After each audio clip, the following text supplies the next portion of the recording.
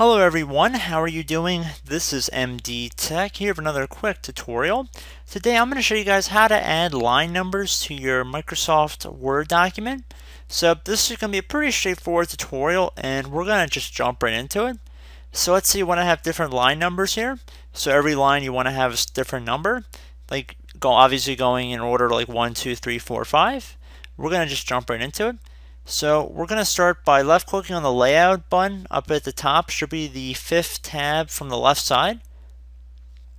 And then right underneath layout, the second option directly below it should say something from line numbers. You want to left click on that.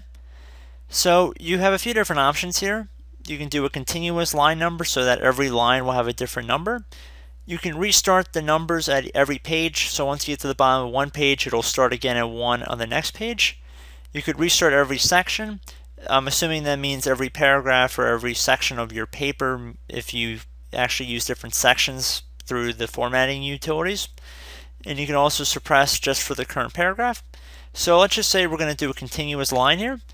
And you can see it should give us a line for every single line on this paper. So that's pretty cool. If you're doing a list or you have a bunch of names and you want to count how many are in the list, it's very easy to do that. If you wanted to change the font for that, it's very simple to do that as well. So it's pretty straightforward. If you wanted to get rid of it, all you have to do is just go back up to line numbers, set it to none, and it will make them all go away.